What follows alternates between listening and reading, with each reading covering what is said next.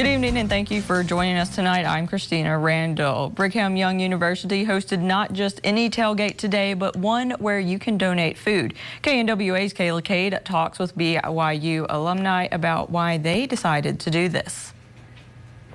BYU and Arkansas fans came together for music, food, games, and charity.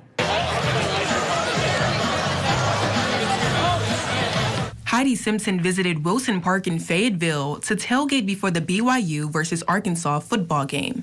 Simpson is an alumna of BYU, and she says it's important to donate. Everyone has hard times at some point, and if you want to have unity in our country, we have to recognize everyone needs help, no matter who you are, what you are. Helping is basically what our country is based on. Like, we are unified despite anything else going on. People need help. BYU partnered with Fayetteville St. James Missionary Baptist Church to serve the local community. Blaine Douglas is the president of the Northwest Arkansas BYU Alumni Association. He says they're proud to be able to do this. This is simply an extension of our desire to serve the, the people of the community, to serve the Lord.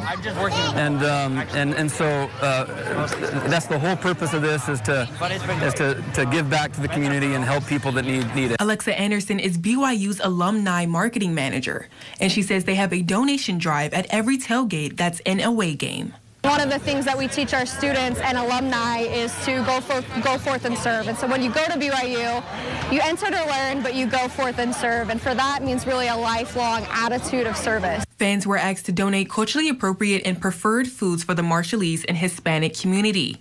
Moni Jones at the church says BYU bought a truck from Utah with 24 pallets of canned and dry goods on it. It feels great to know that people coming from another state care about everybody across the nation.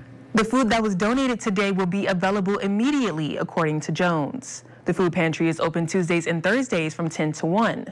They also have a DoorDash delivery option and have a food locker where clients can order the food of their choice. In studio, Kayla Cade, KNWA Northwest Arkansas News.